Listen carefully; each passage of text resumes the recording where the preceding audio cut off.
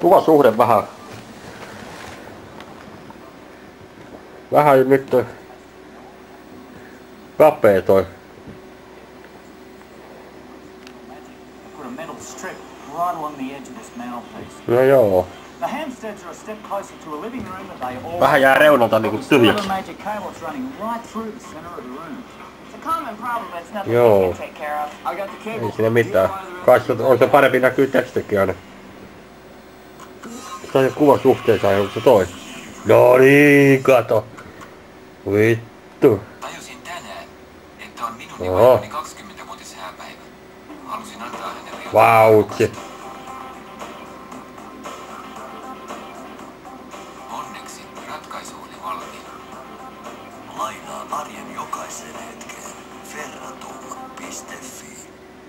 Onkohan se nyt noin normaali? Joo, se kai. Jees. Homma toimii. Ja hehkukin näyttää olevan ihan jees.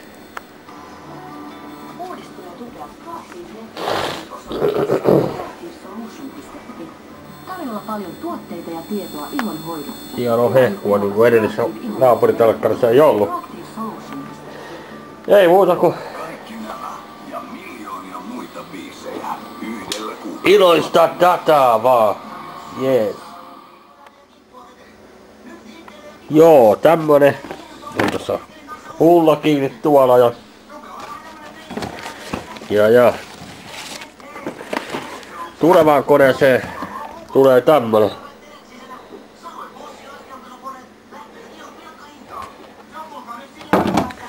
tämmönen näin joo ja tossa on niin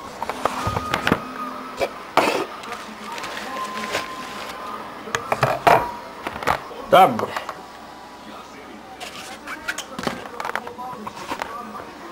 tämmönen sitten joo saa huomenna kun tuota telkkari saada testin siinä vähän aikaa niin telkkari pois tieltä niin saa ruveta tonne rakentelemaan taas Yes. Sitten tuli tämmönen taas. Tämmönen Akai. En tiedä toimiiko vai eikö, ei ole mitään tietoa kuulemma. Käydessä on ollut kovasti analoginen. Mikähän toi nyt sitten on? Äänen voimakkuuden signaalimittari. Ei muuta kuin tästä se jatkuu. Tästä jatkuu sitten joo. Iloista dataa.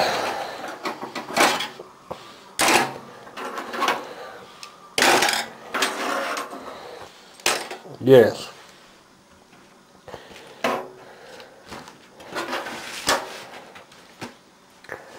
Sí, traste.